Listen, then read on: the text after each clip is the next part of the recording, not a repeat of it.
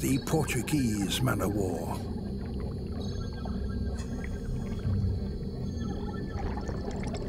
It floats with the help of a gas-filled bladder, topped by a vertical membrane. With that serving as a sail, it maintains a steady course through the waves.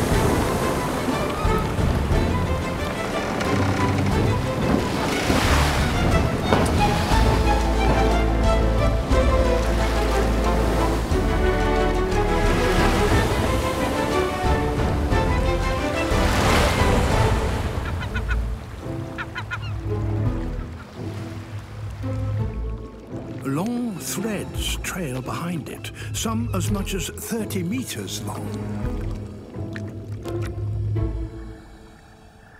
Each is armed with many thousands of stinging cells. A single tentacle could kill a fish, or, in rare cases, a human.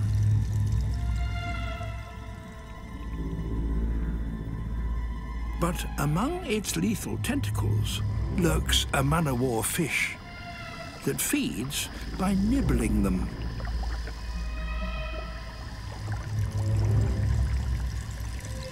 Whilst this fish has some resistance to the stings, it must still be extremely careful.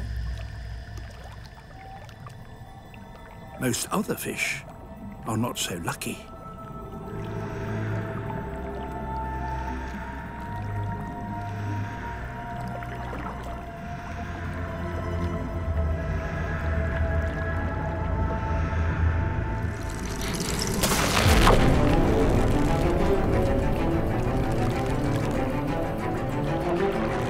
Tentacle has caught this one and reels it in.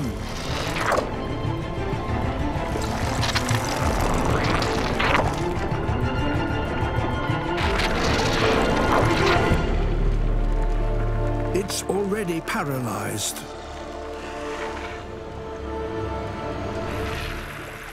Specialized muscular tentacles transfer the victim to others that digest the catch, liquefying it with powerful chemicals.